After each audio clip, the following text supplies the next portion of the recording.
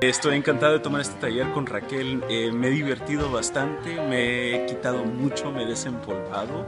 Llevo las ganas de jugar, las ganas de ser niño otra vez y reconectarme con ese niño que tengo adentro. Ah, estoy muy contento de tomar este, este taller.